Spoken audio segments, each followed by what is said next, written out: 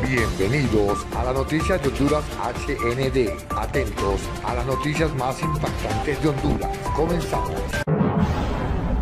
Las imágenes captadas por las cámaras de seguridad no dejan lugar a duda de que el ataque estuvo planeado, en el cual estuvieron cinco personas involucradas en un hecho que dio mucho que pensar de parte del expresidente Porfirio Lobo. El asesinato de su hijo fue un detonante para que comenzara una labor de destrucción en contra del, del expresidente Juan Orlando Hernández. Lobo en sus conclusiones piensa y debe estar seguro que esto se trató de una venganza en la cual se manifiestan varios vínculos. En estos vínculos del poder del narcotráfico todo se puede esperar, mientras que el otro hijo del expresidente Fabio Lobo mantuvo y tiene nexos con David Lionel Rivera Madariaga, ex líder del cartel de los cachiros de Honduras. Porfirio Lobo tiene la certeza que Bonilla y Hop tuvieron que ver con todo lo que pasó. Escuchamos al expresidente Porfirio Lobo. Eh, Said, presidente, andaba en la discoteca. Eh, Said estaba en Juticalpa. Eh, se vino ahora en la tardecita, me imagino yo. Y estaba con su hermano aquí y unos amigos. Y venían saliendo y eran tres carros los que venían saliendo. Bajaron a los ocupantes de los tres carros y, y sucedió lo que sucedió. ¿Este muchacho Celaya es familia presidente o era seguridad de él? No, Celaya es, eh, es amigo, es un grupo de amigos. Ahora, expresidente Porfirio Lobo Sosa, ¿cómo manejar esta situación de criminalidad que ha despuntado en el territorio hondureño, señor? Mire, yo no sé, y claro que las autoridades tienen que tomar cartas en el asunto.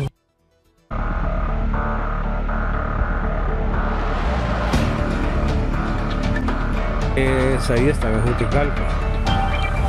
Se vino ahora en la tardecita, me imagino yo. Y estaba con su hermano aquí y unos amigos. Y venían saliendo y eran tres carros que venían saliendo. Bajaron a los ocupantes de los tres carros y sucedió lo que sucedió. ¿Este muchacho Celaya es familia presidente o era seguridad de él? No, Celaya es, es amigo, es un grupo de amigos. Ahora, expresidente Porfirio Lobo Sosa, ¿cómo manejar esta situación de criminalidad que ha despuntado en el territorio hondureño, señor? Pero yo no sé, y claro que las autoridades tienen que tomar cartas en el asunto. En grabaciones se dan a conocer las transacciones de Fabio Lobo, hijo del expresidente Porfirio Pepe Lobo Sosa, donde en el juicio del hermano de Hop, Tony Hernández, salió a reducir los vínculos de Fabio y de los carteles de la droga, lo cual hay o hubo una comisión la cual pretende esclarecer parte de toda esta criminalidad donde se investigará más a fondo a él y a los demás mencionados. Porfirio Lobo también se refirió al caso de su hijo preso en los Estados Unidos.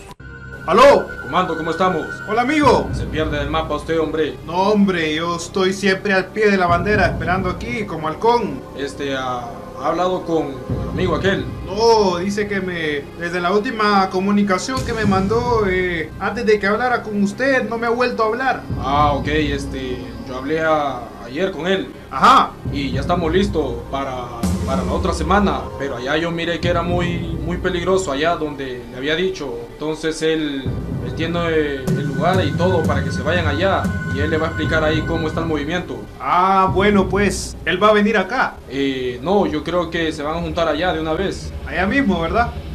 Eh, sería allá en... Allá en el allá en un lugar ahí en Bogotá. No, mejor es de cambiar ahí porque ahí no, no, no me gustó a mí. Yo le puse otro lugar. Ah, bueno. Sí, porque ahí hay mucho... No, no, no, no me gusta ese lugar. Ah, bueno, no hay problema. Sería acá en el en la en el país entonces, acá donde donde estoy yo. No, sería fuera ahí, pero en otro, en otro lugar. Ah, bueno, perfecto. Para que se ponga pilas usted y, y hagan eso ahí, comando. Y, y no se olvide ahí de, de la amiga ahí. Y entonces ya estaba preocupado, ya me, ya me había dejado listo y alborotado, como novia de pueblo.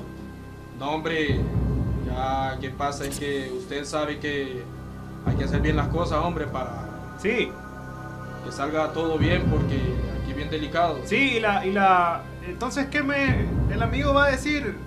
Él tiene entonces las instrucciones. Sí, él, él tiene todo ahí para la otra semana, sería. Ah, bueno. Sí. Papá, ¿qué dice? Por usted, como se ha portado bien conmigo y, y el aprecio de toda la vida, vea, con usted todo, a mil por mil. No, usted sabe que ahí estamos, comando. Y ando con este teléfono. El vínculo de Giovanni Fuentes con los Hernández fue amplio y extenso, con estrechos lazos con el expresidente de Honduras, Juan Orlando Hernández. Fuentes, condenado a cadena perpetua más 30 años, al igual que Juan Antonio Tony Hernández, hermano del expresidente. En su último turno de palabra, antes de oír la sentencia, Fuentes de 52 años, se echó a llorar, defendió su inocencia y dijo que la fiscalía había fabricado las pruebas en contra de él. Dicho personaje estará en el banquillo de los acusados en el juicio para testificar en el caso de Hobb. Por vínculos directos con el tráfico de drogas desde Honduras hacia los Estados Unidos. ¿Cuál es el contenido esencial de la sentencia que se ha dictado hoy desde los Estados Unidos? Bueno, Abdel Rosendo, hubo conversaciones en el día de la sentencia con el juez Kevin Castell, la Fiscalía también de los Estados Unidos. Y le vamos a dar a conocer precisamente cuando le dijo el juez Kevin Castell, le dijo al hondureño, al hondureño Giovanni eh, Giovanni Fuentes mató al oficial de policía que allanó su laboratorio de coca, lo torturó para averiguar si su lavador de dinero estaba implicado. 40 años no es solo un castigo.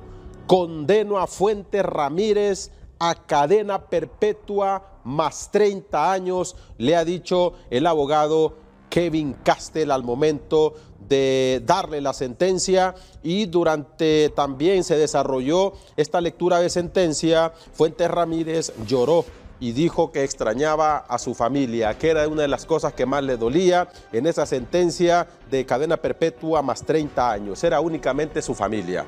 existe o existió una conspiración muy amplia involucrando al, al hermano del expresidente Hernández, Tony Hernández, y luego también al expresidente Hernández, y luego muchos elementos de las fuerzas de seguridad de Honduras, y luego también miembros de la justicia hondureña. Entonces, muestra que la conspiración no era entre muy pocos personajes, pero muchos personajes en todos los sectores de Honduras, pero principalmente del expresidente Hernández. La Fiscalía estadounidense lleva un lapso de tiempo insistiendo una y otra vez en que Honduras es un narcoestado. Más declaraciones y detalles. Chapo Guzmán le ofreció a Tony Hernández un millón de dólares para la campaña de Juan Orlando y que Tony le dijo que lo iba a pensar. Tres días después, Tony le informó que había hablado con su hermano y que sí necesitaba el dinero, pero con una advertencia de Juan Orlando Hernández, que tengan cuidado con las cámaras y las fotos.